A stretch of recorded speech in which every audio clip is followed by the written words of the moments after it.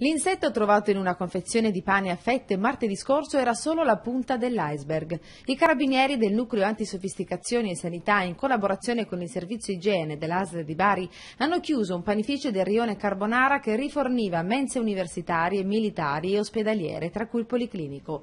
Nello stabilimento che produce circa 30.000 panini al giorno, i militari del NAS hanno trovato un quadro igienico-sanitario davvero precario, riferiscono gli investigatori.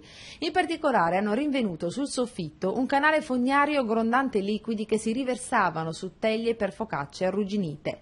Nei locali c'erano vecchie attrezzature e macchinari per la preparazione e cottura del pane insudiciati, porte e finestre privi di sistemi contro l'intrusione di insetti, pareti umide, scrostate e annerite da muffe.